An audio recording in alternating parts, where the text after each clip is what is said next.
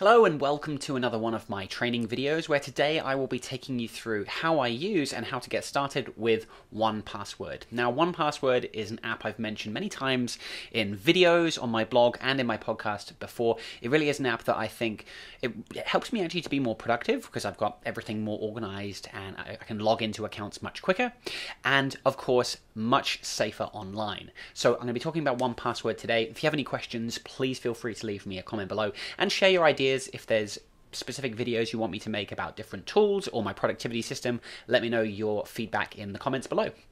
So first of all, let's talk about why do you even need a password manager?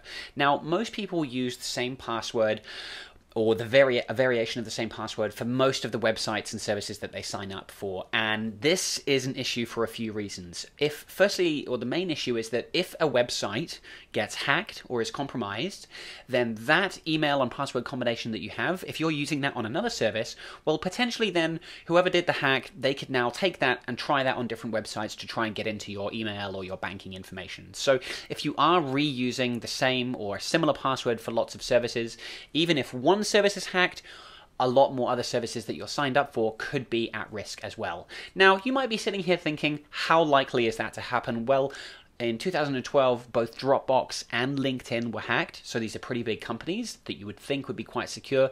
Even since then, there have been uh, other big hacks. Facebook has been hacked. They are always giving out information. So it happens more than you think. And if you go to Have I Been Pwned, that's P W N E N E D, not owned, but Have I Been Pwned.com, that website will actually tell you, you can put your email into their search engine and it will actually tell you if your password has been leaked online onto the dark web.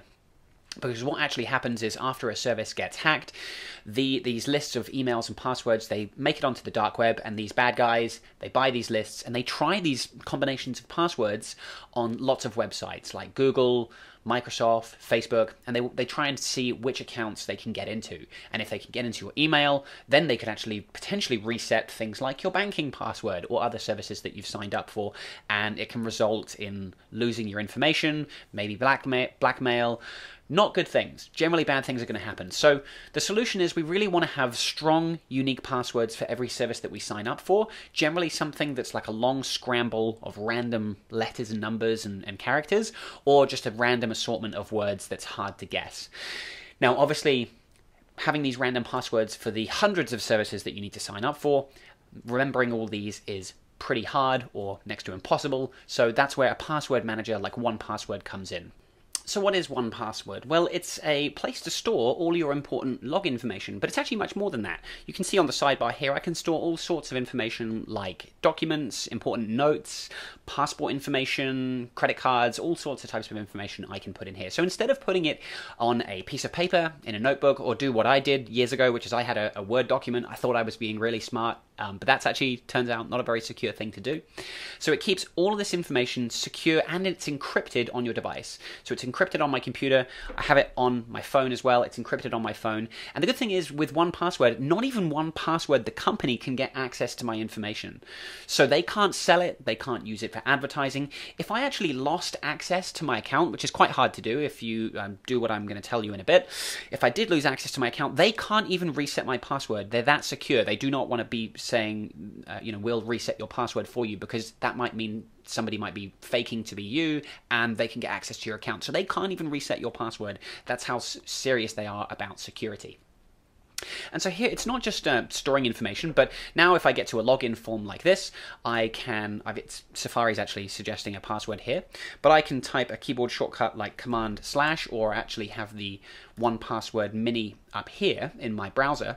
I can then um, quickly autofill this password and sign in really simple. So I don't have to type anything, I don't have to remember my password, uh, so it makes logging in really quick and easy.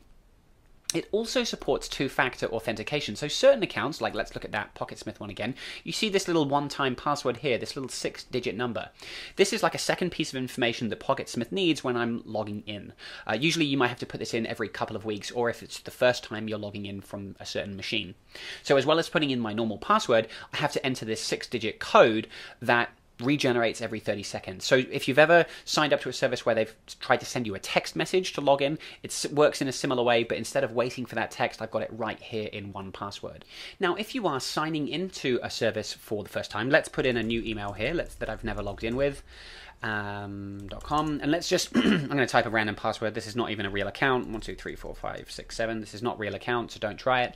Let's uh, click sign in, and then 1Password pops up, and it's saying, do you want to save this password? Because it's my first time logging in with these credentials, so I could um, update an existing password that I have, or I can create a new login and automatically save that. Now, when you get started with 1Password, you're going to want to download a few different applications. Obviously, the 1Password application for Windows or Mac, whatever you're using. You're probably going to want it on your phone as well. You will also need your phone if you are setting up those two-factor authentication passwords, because to set them up, you have to take a picture of a QR code that's shown on the screen. So you are going to want to have the application on your phone, and you will need the 1Password Mini up here. This is so that you can access uh, and fill them in on the browser. And it's also just handy to be able to find information. So wherever I am on my computer, I can um, bring up 1Password Mini. I can type anything in here to find like a note or my passport or my credit card information, whatever information I want to get quick access to. So some of the ways I'm using 1Password, like I said, it's not just for login information, but I use it for things like my credit cards. So if I'm filling out a checkout form uh, to buy something online, I can quickly put in credit card information.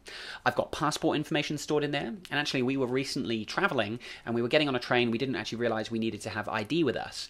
And I had mine, but Haley didn't have hers. Uh, but fortunately, I had a copy, a photocopy of her passport in 1Password, so I was able to quickly get it up on my phone and show show the the copy that we had. So that was really handy. We also have a family account, so we can have um, shared passwords between us for things like Netflix, and you can set up a family account or a team account for your your company or wherever you work. So if you need to share logins with different people on your team, that's really handy. I also use it for software licenses, so this is less common now with things like the App Store, but sometimes I'll download an application and it comes with a license key, so I can store those licenses in 1Password. Uh, as I said, two-factor authentication, pretty much whenever I have the option to, I will turn on two-factor authentication to just enable that extra level of security. And when you turn on two-factor, often you will get what's called a backup or a recovery code. So this is a one-time use code that you can use to log into your account if you can't get access to that six-digit number for some reason. So it's one-time code, and I store all those in 1Password as well. And as I said, finally, it does support things like secure notes. So I actually have, have a note called In Case I Die, and Haley has access to this because in our household, I deal with things like the finances, insurance, uh, utilities, things like that. So if I died, you know, worst case scenario, let's touch wood, but uh, if something bad happened, um, I don't want Haley to have to stress about those things. So I have a note explaining here's how you'll get access to my life insurance payout. This is what you need to do with my website. Um, if you want to get access to our Bitcoin and sell that. Here's how you would do that. And so there's just instructions on things to do in case I die. Um, because at a bad time, when Haley's stressed out and uh, going through a tough time, I would like to have some instructions ready to make certain things a bit easier for her. So 1Password really can be used for quite a lot of things.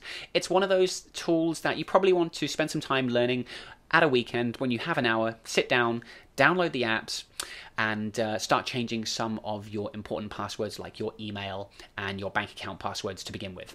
And finally, when you sign up to 1Password, you will be given uh, what's called a 1Password emergency kit. So this emergency kit contains a secret key, which is a long 24-digit code that code you need to use every time you log in on a brand new device. So when you're setting it up on your phone or your computer, you'll need that secret key. What this means is, even if I shared my 1Password with you now, you still wouldn't be able to get access to my account because you would need my secret key. So when you sign up and you get the secret key, make sure you print it out, keep a few copies around the house, give a copy to a trusted friend or family member uh, because you definitely don't want to lose access to your 1Password account. If you're anything like me, you have a lot of very important information in there. So I've got multiple copies of this um, hidden around the place. So if you're not using 1Password or any kind of password manager, please, please, please take my advice. Spend some time this weekend sitting down, setting it up. Uh, it really is not as much of a chore as you think it is, and uh, it really will kind of take off some of that pressure of trying to be safer and more secure online. And I think it's, it's an exercise really worth going through. So thank you for watching. Hopefully this helps. Let me know if you have any questions, and I will see you in the next video.